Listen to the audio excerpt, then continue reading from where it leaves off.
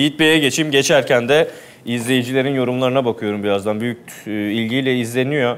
Ee, şimdi bir izleyicimiz demiş ki yıllarca bankalarda şube müdürlüğü yaptım ama hiçbir banka yönetimi aynı ki- kişiyi aynı şubede 12 yıl boyunca bulundurmaz. Ee, buradan da bakmak lazım demiş. Bu arada hazır banka konusu açılmışken e, 2 Kasım 2023 tarihinde bu meseleye ilişkin bir de bankanın da girişimleri oldu. Onu e, paylaşmazsak olmaz efendim. Çünkü e, burada ismi geçen bazı futbolcular hakkında tefecilik iddiasıyla, zor kullanma iddiasıyla, banka itibarının da zedelendiği iddiasıyla bankanın da bir suç duyurusu var. Olaya bir de böyle bakın diye hani meşhur bir laf var, değiş vardır ya, o minvalde söylemiş olayım. Gelin Yiğit Gökçehan Koçoğlu'na hukukçu görüşünü alalım efendim. Neyi ıskaladık şu dakikaya kadar? Başka nerelerden bakmak lazım? Şimdi e, öncelikle Nebi Hocam'la başlayalım. Nebi Hocam dedi ki çok güzel bir şey söyledi. Bizim ülkemizde dedi kuralla kazanmak yani daha kolay kazanmak yaygın dedi. Gerçekten de bu iş böyle. Ben bugün buraya bir e, saadet zinciri duruşmasından geldim. Orada da 2937 tane şikayetçi var. Ve hep söylenen şey şu. Biz parayı elden verdik. Herkesin sor avukatlar diyor neden bankadan göndermedin? Dediler bize elden verdik. Bize bir iki ay paramızı geri verince biz kredi çekip vermeye başladık. Aslında baktığın zaman Arato'nun yaptığının aynısı. Şimdi e, bir Ponzi sistemi mi bu? Bence evet Ponzi sistemi. E, ben e, soruşturma aşamasında bugün gösteren kişilerin birçoğunun avukatlığını yaptım. E, toplantıya katıldım. Toplantıda ismini veremeyeceğim iki kişi arasında şöyle bir konuşma geçti. Birisi dedi ki, abi sen parayı ne zaman yatırmıştın dedi. İşte atıyorum 27 Mart'ta yatırdım dedi. Karşılık şöyle geldi. Abi senin para benim cebimde haberin olsun. Çünkü ben 28'inde para aldım dedi. Onun yatırdığını oraya vererek Aynen öyle. Oradaki krizi en azından biraz durdurmaya Evet. çalışıyor. Talebi. Aslında bunun Ponzi sistemi olduğunu ben o gün anlamıştım. Bu Ponzi sisteminin modern bir versiyonu. Banka şube müdürünün evet 12 yıl orada kalması çok büyük bir e, problem bence. E, değişmesi gerekiyor. Belki genel müdürlüğe geçmesi gerekiyor. Bankada bambaşka pozisyonlara gelmesi gerekiyor. Benim de banka şube müdürü müvekkillerim var. Hiçbiri o kadar uzun süre kalmıyor. Burada önemli detay aslında şu. Seçil Erzan bu hareketleri Florya'dan sonra yapıyor. Florya'dayken yapmıyor. Bu önemli bir detay. Florya'dan ayrılıyor ve son bir, bir buçuk senede Levent Büyükdere Caddesi'ne geliyor. Yani aslında Florya'dan tüm bağını kesmiş. Evet 12 sene boyunca orada futbolcuların parasını yönetmiş, portföy yöneticiliğini yapmış. Orada ayrıldıktan sonra işte kendi iddialarına göre param, paraya ihtiyacım vardı, şu vardı, bu vardı. Nereden bulabilirim dedim. Bildiğim insanlar var dedi. Bakın 12 sene boyunca o kadar bunlar yakın arkadaş haline gelmişler ki Mustara'nın evine giden bir insan. Bir şube müdürü Mustara'nın evine gidiyor. Ve en nihayetinde paraları toparlamaya başlıyor ve topladığı paralarla da gelin aşamada bir dava açıldı. Ee, en başta Ozan Bey şey dedi, resmi belgede sahtecilikten dava açıldı dedi ama orayı bir düzelteyim. Buyurun, Ee, lütfen. Oradaki açılan dava özel belgede sahtecilikten açıldı. Çünkü e, oradaki evrakların birer banka evrakı olmadığı, bu evrakların özel belge statüsünde olduğu şeklinde bir tespiti var e, savcı. Resmi belgede değil, özel belgede Evet. sahtecilik. Kanaatimce doğru bir tespit. Çünkü e, evraklar bende var. E, evrakların yarısından çoğu bildiğiniz bir A4 kağıdına yazılmış. Bir önce Ayhan Bey'e de gösterdim bir tanesini. A4 kağıda yazılmış olan altında şube müdürü Seçil Erzan'ın kaşesinin olduğu bir evrak. Zaten bu resim belge olamaz. Ha, bazıları ne yapmış? En son aşamalarda bakmış ki olay sıkıntıya gidiyor. Daha önceden bankanın kendi evraklarıyla oynamalar yapmaya başlamış. Onun bir formatını belki PDF editörden alıyor. Ee, ve ismi değişiyor. Atıyorum Volkan Bahçe Kapılı yazıyor. Bir sonraki yerine Selçuk İnan yazıyor. Bir sonraki yerine Emre Belezoğlu yazıyor ama şöyle bir sıkıntımız var orada da. Mesela orada e, ISIN numarası vardır. Onları değiştirmeyi unutuyor. Herkese verdiği evrakta numaralar aynı. Aynı, kopya. Kopya. Çünkü yaptığı tek şey diyor ki müşteri ismi değişiyor, müşteri numarası değişiyor ve valör tarihi değişiyor. Başka hiçbir şey değişmeyen yapmış olduğu aslında bir e, dolandırıcılık e, olayı var. E, bu soruşturma aşaması aslında bu olay 2022'nin sonlarına doğru dayanıyor diye biliyorum. En azından benim bilgim bu şekilde. Biz şikayet Nisan ayında yapmıştık. E, Siz Nisan ayında müvekkilleriniz Evet, biz adına. Nisan ayında yapmıştık şikayeti. Ee, ve zaten e, çok kısa süre sonra davası da açıldı. Ee, şimdi oradaki temel problem şu. Seçil Erzan bu işi banka kanalıyla yapar ise büyük sıkıntı yaşayacağını bildiği için hep banka dışında yapıyor. Banka içerisinde yaptığı çok nadir. Ama banka içerisinde yaparken de parayı kendi teslim almıyor. Şüphelilerden Ali Yörük var. Ali'ye teslim aldırıyor. Veya bir başka çalışanı var ona teslim aldırıyor. Şimdi mesela e, Emre Çolak'ı anlatayım ben. Dosyada olduğu için artık şu var yani bizim e, CMK kapsamında soruşturma aşaması gizlidir. Artık mahkemeye geçtiğimiz için bir gizlilik yok. Rahat rahat anlatabilirim. O yüzden konuşmaları verebildik. Evet, şimdi- Yargı bu konuda habercilere de bir alan açtığı için. Şimdi Emre Çolak'ın olayında Seçil Erzan direkt Emre Çolak'a ulaşıyor. Numarasını kimden alıyor bilmiyorum. Ulaşıyor ve anlatıyor böyle böyle bir şey var diyor. Emre Çolak'ı kandırıyor. Emre Çolak diyor ki tamam diyor ben de 3 milyon 250 bin yatırayım bankadan göndereyim. diye teklifi var Emre Çolak'ın. Seçil Erzan diyor ki hayır diyor bu fon çok gizli bir fon. Gizli bir fon olduğu için bunu herkesle paylaşamayız. Ee, tabii şunu da söylüyor bu arada. Yani ismi çok geçti söyleyeyim. Fatih Terim önderliğinde kurulmuş bir fon diye de söylüyor. Ve e, diyor ki ama Hakan Ateş de var bu fonda diyor. Denizbank'ın genel müdürü, CEO'sundan bahsediyor. O da var diyor ve diyor bizim diyor çok küçük bir portföy çerçevesinde yapmış olduğumuz ülkenin en büyük ailelerinin olduğu ve sanat spor camiasının en zengin insanların bulunduğu bir fon. O yüzden bankadan sen bunu gönderemezsin. Banka kayıtlarına girmemesi lazım diyor ve Emre Çolak, kardeşi Emrah Çolak'a e, parayı gönderiyor. 3 milyon 250 bin doları gönderiyor. Kardeşi abisinin sözüne parayı çekiyor. Garibim evrak bile almıyor. Evrak almadan Seçil Erzan'a parayı teslim ediyor. Şimdi Seçil Erzan'ın insanlara vermiş olduğu güven bu noktada. Çünkü neden? Emrah, Emre Çolak'tan önce kim girmiş sisteme? Selçuk İnan girmiş, Muslera girmiş, işte Fatih Terim var diyorsunuz. Yani bir önce de söyledim, e, Galatasaray'ın bir sözü vardır, Allah kerim Fatih Terim şeklinde. Ya Fatih Hoca'nın ismi var ise orada o bir güven unsurudur. Fatih Hoca'nın bu arada haberi var yok bunu bilemeyiz. Ama ismi varsa Galatasaray camiası için bir güven unsurudur. Şu da var. O dönemde Seçil Erzan'ın nişanlı olduğu kişi Fatih Terim'in avukatı. Böyle bir detay daha var. Belki Seçil Erzan bunu da kullanmış olabilir. Yani ben, ben zaten içerideyim Fatih Hoca bu yüzden var demiş olabilir. Fatih Hoca işin içinde olabilir veya hiçbir bilgisi olmadan tamamen ismi kullanılmış kendisi de mağdur olabilir. Tabii ki. En nihayetinde zaten kız da dolandırılmış. Tabii kızı mağdur. bu. Kızı mağdur bu dosyada. Yiğit Bey bir şey sorabilir miyim Tabii, Can. Bey izninizle? Tabii. Peki avukatın ismi geçiyor mu? Avukatın ismi geçmiyor. Ee, Zaten bildiğim kadarıyla Fatih Hoca sonradan avukatı azletti. Ya da avukat istifa etti. Tam olarak detayı bilmiyorum fakat oradaki ilişkileri bitti. Ee, Şimdi Seçil Erzan'ın mesajlarında şöyle bir e, detay var. Diyor ki bunu banka öder diyor. Onu niye söylüyor? Şimdi Seçil Erzan aldığı paraları hem banka dışında alıyor hem de diyor ki bu bir şekilde bankanın öder diye düşünüyor. Çünkü Türk Borçlar Kanunu madde 66 ve 116'dan gitmeye çalışıyorlar.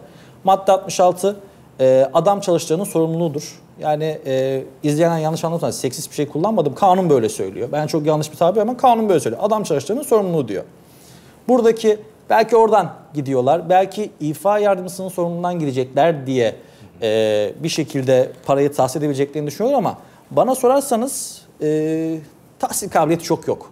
Çünkü e, burada alınan paraların banka dışı olması, e, bankayla çok bağlantısının olmadan bu işin yürütülmesi, BDDK'nın muhakeme şartı olan yazılı başvuruya başvurmaması koşullarına bir dikkat et aldığımız zaman aslında bu olay sanki Denizbank'ın çok dışarıda olduğu ve tamamen Seçil Erzan'ın bireysel yetenekleriyle yapmış olduğu dolandırıcıya gidiyor.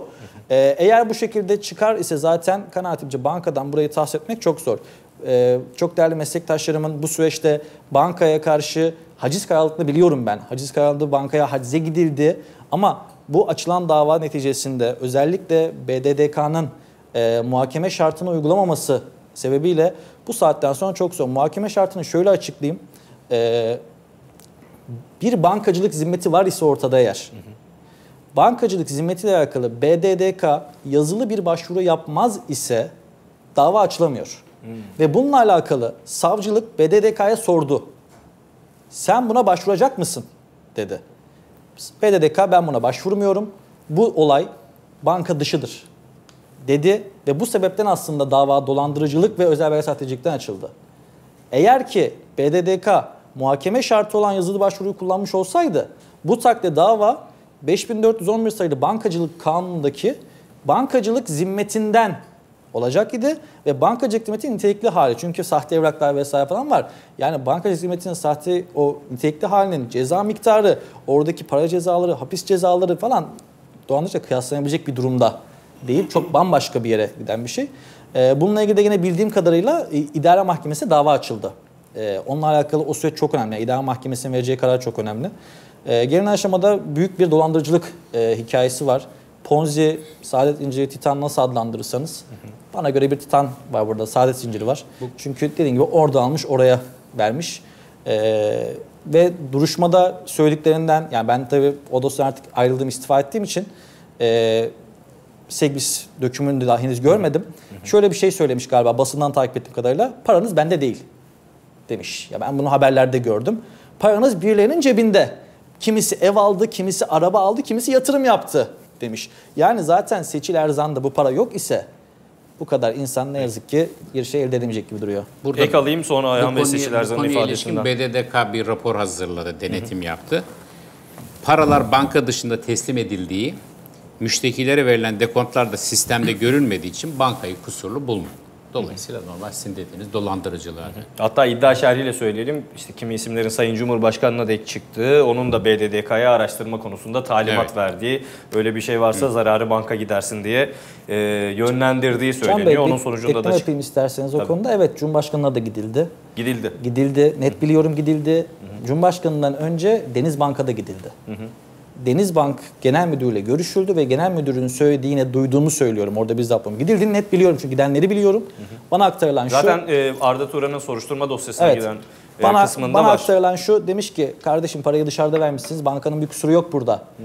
Bana demiş bankada verdiğinizi ispatlayın. Havaleyle gönderdiğinizi ispatlayın. Ben sizin paranızı vereyim. Ama ispatlayamazsanız gidin problemi seçille çözün. Demişler. Hmm. Peki. E, finali yapalım o halde. Ayhan Şensoy ekleyeceğiniz var mıdır? Yok şu an benim. Peki. E, eninde sonunda soruşturmanın finalinde ne olur sorusu çok geliyor. Ne kadar genişler diyorlar. İşte bankadan temin e, edilebilecek mi bu para finalinde? E, kişi suçlu bulunsa bile bu mağdur olan futbolcuların, e, yakınlarının hepsinin mağduriyeti giderilecek mi yargı önünde? Olası sonuçlar nedir? Bu konuda bilgi sahibi olmak ister izleyiciler. Böyle bir final yapalım ve alt liglerdeki bahis meselesiyle de kapatacağız. Şimdi şöyle öncelikle ceza yargısı hukuk yargısını ayırmak lazım. Ceza yargısı dediğimiz şey bir kişinin yapmış olduğu eylemin suç olup olmadığını tespit eder ve o kişiye bir hapis cezası veya adli para cezası verir ya da beraat veriyor. Hukuk yargısı ise sizin bir zararınız varsa tazmin edeceğiniz taraf orası. Yani eee, şu anda dinleyiciye şunu söylemek lazım. Bu şu anda yapılan şey bir ceza yargılaması. Bunun neticesinde şu karar çıkmayacak. Kardeşim Seçil Erzan sen suçlusun. Sen parayı kalk- geri ver. Şu kadar parayı geri ver diye bir karar çıkmayacak. Çıkacak olan karar şu. Seçil Erzan atıyorum sen işte Volkan Bahçekapı'yı dolandırmışsın. Sana ben şu kadar hapis veriyorum. Bu kadar yatacaksın. Sen şuna karşı özel belge sahtecilik suçunu işlemişsin. Sen bu kadar ceza aldın diyecek. Şöyle bir durum var. Şu detayı atlamamak lazım. Türk Ceza Kanunu madde 168 der ki nitelikli dolandırıcılıkta eğer kovuşturma bitene kadar bir zarar giderimi yapılır ise bu takdirde kişilerin alacağı cezada %50 indirim yapılıyor. Yani Seçil Erzan bugün kalkıp atıyorum. Belki de şu an ödeyebileceği en düzgün para Musa Mert Çetin'in parası. Çünkü en düşük o gözüküyor. Onunkine ödemeye kalkarsa alacağı ceza miktarı e, %50 indirilecek. Ama şu var. Faiz yine yok ceza yargısında. Faizi istiyorlarsa hukuk davası açacaklar. Şimdi banka olayın çok dışında kaldığı için e, ben başta söyleyeyim tekrar söylüyorum. Bankadan çok tahsis edebileceğini düşünmüyorum. Peki. Ee, bu durumda ne yapacaklar? Suçlunun veya suç ortaklarının e, mal varlıklarına gidecekler. İşte taşınırı, taşınmazı, banka hesaplarına gidecekler. Ne kadar tahsis edilir orası da tartışmalı. Ee, şunu söyleyeyim şimdi Seçil Erzan bir önce iddianameye tekrardan baktım. Ee, nitelikli dolandırıcılıktan 14 farklı eylemden yargılanıyor. Bu şu anlama geliyor. Diyor ki 3 yıldan 8 yıla kadar 14 defa ile yargılanıyor. Ancak tekrar söyleyeyim eğer bir ceza indir şey e, ödeme yapar ise bu takdirde %50 indirim yapılacak. Bir de şu var. Eğer Seçil Erzan'ın bu suçu 3 kişi veya daha fazla eşidi ortaya çıkar ise bu takdirde alacağı ceza miktarında da %50 artırım yapacaklar. Şurada çok e, ilginç bir detay anlatacağım size. Buyurun. Bu suçtan, bu soruşturmayı İstanbul'da örgütlü suçlar bürosu yaptı. İstanbul'da e, çeşitli bürolar vardır. Örgütlü suçlar bürosu, mali suçlar bürosu, işte genel soruşturma, memur suçları bürosu. Biz şunu görürüz genelde. Eğer bir dosyaya örgütlü suçlar bürosu bakıyor ise en nihayetinde örgütten bir dava açar. Ancak açmadı. İstanbul Cumhuriyet Başsavcılığı yapmış olduğu soruşturma neticesinde örgütten dava açmadı. Bu çok ilginç geliyor bana. Yani soruşturma yürüten örgütlü büro ancak kimseye örgütten Temel dava esas açmadı. itibariyle ne değişirdi mesela? Şu değişirdi. Yine Türk Ceza Kanunu madde 158 der 2. Eğer dolandırıcılık suçu örgüt faaliyeti kapsamında işlenirse ceza miktarı bir kat arttırılır. Bu ne olurdu? Bakın Seçil Erzan'ın şu an kişi başı alacağı ceza 3 yıla 8 yıl arasında. Biz ne diyoruz? 3 kişi olduğu için %50 artırma olacak. Ama örgüt olsaydı şu olacaktı. Bu sefer 6 ile 16 yıl arasında olacaktı. Çünkü ikiye çarpıyoruz. Bir şey daha var. Örgüt var ise eğer örgüt lideri örgüt kapsamında işlenen tüm suçlardan işlemese dahi sorumludur. Böyle bir detay daha var. Tamamlamadan bir izleyici sorusu araya girdi. Güzel de bir soru. Seçil Erzan'ın bu parayı asla hatırlamıyorum dediği harcamaları, trafiği izlemek mümkün mü? Soruşturmada bu sonuca en azından ulaşılacak mı? Belki o da başka bir ponzi sistemine, belki yurt dışındaki başka hesaplarına veya varsa ortaklarına aktarıyor olamaz mı demiş. Şimdi e, benim zaten şahsi kanaatim bu paraların mutlaka bir yöne gittiği yönünde. Çünkü yakalanma hikayesini bilmiyorum biliyor musunuz ama Ya şuna inanmıyorsunuz değil mi? Düzeltmek için iddia şerhiyle soruyoruz her şeyi. Önemli canlı yayında bu vurguyu yapıyorum. Ee, Seçil Erzan bu paraları aldı fonda kafasına göre oynadı. O hesaba yatırdı, bu hisseyi aldı ve eninde sonunda battı, uğraşamadı ve sistem patladı. Manzara bu değil. Bu paralar bir yerlere gitmiştir. Ee, inancında olduğunu söylüyor. Evet şu var. Şimdi Seçil Erzan kendi beyanına göre, kendi savunmasına göre evet diyor ben e, battım. Bir takım borçlarımı onunla ödedim. Bundan, bundan çıkmak için bu sisteme girdim ben yaptım aslında diyor. Ama şimdi e, miktar ortada. Tabii ki. Bir kişi bu kadar parası yok ise bu kadar batamaz. O yüzden e, bu paralar bir yerde ki e, yakalanma hikayesini şöyle anlatayım. E, bir kişi e, şüpheleniyor ve valize GPS koyuyor. Çünkü parayı valizle vermiş. Ve fark ediyor ki... Bugünkü müştekilerden biri. Evet. Ve şöyle Seçerzen diyor ki ben bu parayı diyor şeye götüreceğim. Denizbank Genel Müdürlüğü'ne götüreceğim diyor. Gayrettepe'deki yere götüreceğim diyor. Adam GPS'ten takip ediyor. Para havalimanı yoluna gidiyor. Zaten sistem böyle patladı. Havalimanı yoluna gidiyor. Evet, havalimanı yoluna gidiyor. Orada şöyle bir detay var. Ee, kendisinin evi orada mı tam bilmiyorum fakat Göktürk'te oturuyor Evet, kendisi. benim evim Göktürk'te diyor. Ben oraya gidiyordum diyor ama İkametgah öyle gözüküyor. e, havalimanı yolu biraz da kafa karıştırıcı bir detay. Belki e, sonuna kadar gidilseydi e, bambaşka yerlere çıkabilirdik. Seçil Erzan'ın paralıktan sonra kaç defa oraya gittiğini falan bir baksardı aslında. Dosya Artık gidilemez mi bu saatten sonra sonuna kadar? Şimdi soruşturma bitti. Yargılama başladı. Soruşturma aslında bizim tüm delillerin toplanması gereken yerdir ceza muhakemesi kanununa göre. Ancak e, soruşturma yerde eksik olur. Mahkeme toplar. Bu saatten sonra Ya top- mahkeme sorgusunda bir şey öğrendik öğrendik. Öğrenemezsek mevcut üzerinden bir ilerleme Aynen öyle. olacak. Ne yazık ki öyle. Bu şimdi çok şeyi değiştiriyor tabii. Çünkü burada sorduğumuz birçok soru ister isim üzerinden olsun ister suçlama bu GPS örneğinde olduğu gibi birçok şey Şöyle bir eğer şey- dosyaya girmediyse nasıl Ben olacak? basit bir örnek vereyim. Ceza Mahkemesi Kanun madde 225 der ki hakim mahkeme önüne gelen iddianamedeki fiil ve faille bağlıdır der. Siz bir yargılama yapıyorsunuz. Yargılama sırasında atıyorum Seçil Erzan'ın tamamen afaki konuşuyorum. Birisini öldürdüğünü fark ettiniz. Buradan ceza veremiyorsunuz. Şunu yapıyorsunuz. Savcılığa suç duyurusu yapıyorsunuz. Ben bunu fark ettim. Bunun bir soruşturmasını sen yap. Ondan sonra bana iddianame yaz. Bana gönder ben bakayım. Ya bu saatten sonra iddianamenin dışında iddianameye konu olaydan farklı bir şey tespit edilse dahi bunun yargılaması yapılamaz. Ama bu, bu süreçte iddianameye konu bir olayla ilgili bir şey tespit edilirse elbette ki dosyaya delil diye girer. Ve bu seçili erzanın lehine de olabilir, aleyhine de olabilir. Bu, bu çok şeyi değiştirir hakikaten. Şimdi son söze geçmeden şu kara hakkında bir şey söyleyeyim. Buyurun. Biraz önce bir mesaj aldım. Bir FIFA menajerinden gelen mesaj. Diyor ki kardeşim istersen sana bahis işi alt nasıl dönüyor ben sana anlatayım diyor. Çok kısa bir dakika anlatacağım diyor. Buyurun. Bakın altta mesaj şu. Alt liglerde ödemeler çok sıkıntılı. Aylarca 5 kuruş alamayan, kredi kartı, kredi ve hatta tefeciye düşen oyuncular var. Bu durumda olanları bir şekilde yakalayıp para karşılığı maçları manipüle ediyorlar. Oyuncu da suçlu ama bunu önlemek için ne yapmak gerekiyor biliyor musun? Kulüplerin ödeme dengesini yakalaması lazım. İki ay ödeyemene TF ceza kessin. Bakalım bu alt ligde bahisçi dönüyor mu? Şeklinde Çözümü de yazmış. mesaj attı bana. Bu da FIFA çok yaygın, doğru FIFA menajeri. Hatta şöyle bir iddia da var. Maçın kaçıncı dakikasında gol olacağını dahi belirleyebiliyorlar. Ama iki takım karşılıklı yapıyor bunu. Evet. Ee, spor kulüpleri yasamız var. Ee, Evet. Yeni çıktı. Spor kulüpleri yasası şunu düzenliyor. Diyor ki e, bir gerçek kişi veya bir tüzel kişi diyor. Aynı ligde yer alan birden fazla kulübü diyor dolaylı doğrudan hakimiyeti yönetemez diyor. Şimdi bu verdiğimiz örnekte Eyüp Spor ve Pendik Spor. Eyüp Spor'un başkanı Pendik Geçen yıl Spor aynı ligde mücadele ettiler TFF 1'de. sponsoru aynı aslında baktığınız zaman. Şimdi Eyüp Spor'da çok büyük ihtimalle lige yükselecek gibi duruyor. Geçen sene ucundan kaçtılar. Bu sene dolu düzgün gidiyorlar. Ki kadroları ikinci, birinci göre çok, Çok iyi bir kadroları Süper Lig takımı gibi. Aynen öyle. Onlar yükselecekler. Merak ediyorum orada ne yapacaklar? Nasıl bir formül yapacaklar? Ankara Spor örneğini hatırlıyorsun. Evet. Ankara Ankara Spor'u küme düşürmüşlerdi. Ankara gücüyle Ankara Spor Şimdi aynı. alt ligler e, ne yazık ki batak durumda. Çünkü e, gözden biraz uzaklar. Gözden uzak oldukları için de pek çok şey yapıyorlar ne yazık ki.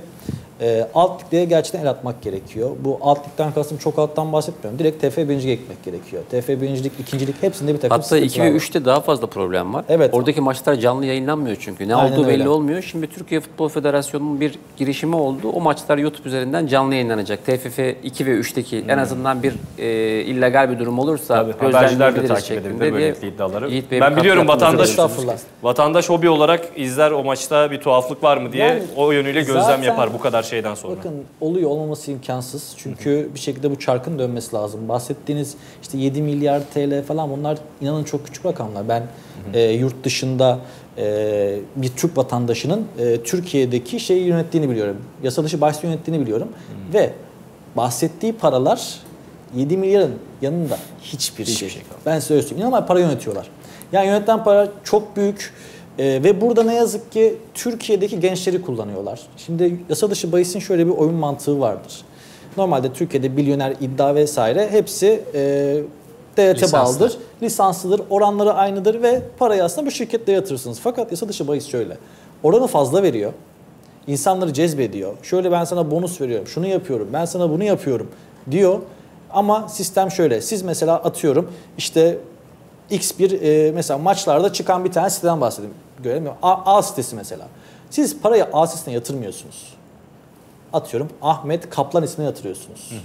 Para bu şekilde. Gençler bu şekilde kullanıyor. Bu şekilde yargılanan çok fazla genç var. Bu gençler 300 lira 500 lira cep harçlığı yapmak için kartlarını veriyorlar, hesaplarını veriyorlar. Sonra e, 7258 sayılı kanundan ceza alıyorlar, yargılanıyorlar. Ülkemizde e, cezaların ben yeterli olduğunu düşünüyorum. Ama infazımız çok sıkıntı. Yani bakın şimdi çok basit bir örnek vereceğim. O kadar Seçil Erzan ne kadar alır diye konuştuk. Seçil Erzan'ın bu suçu e, 2020 30 Mart 2020 önce işlediğini varsayalım. Bakın 6 seneye kadar ceza mı aldınız? Cezaevine girmiyorsunuz bile. Ya böyle bir şey olabilir mi? O zaman biz niye verdik ki bunu? Şimdi Sorun Seçil- nerede belli. Şimdi Seçil Erzan ceza alacak. Atıyorum e, 10 sene ceza aldı. Bakın bunun yarısı zaten koşullu salıverme. 5 yılı gitti.